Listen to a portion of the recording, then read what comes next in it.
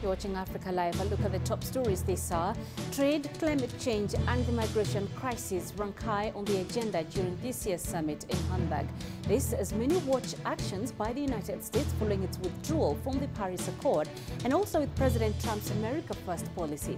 During this summit Saturday, US President Donald Trump met with British Prime Minister Theresa May and said he hoped the US can quickly seal a bilateral trade deal with the United Kingdom.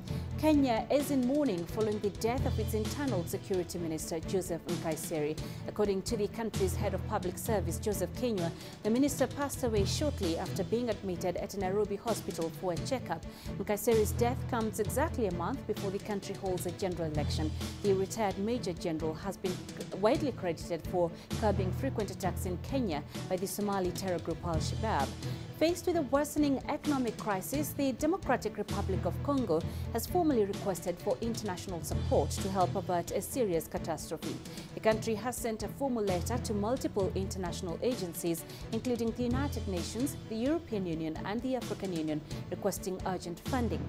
And Saudi Arabia, UAE, Bahrain and Egypt released another threat of sanctions against Qatar this week. The four Arab countries who are accusing Qatar of funding and supporting terrorism say they will take necessary measures to be announced at a suitable time. Officials from the four countries met in Cairo on Wednesday after a 12-day ultimatum they gave Doha expired.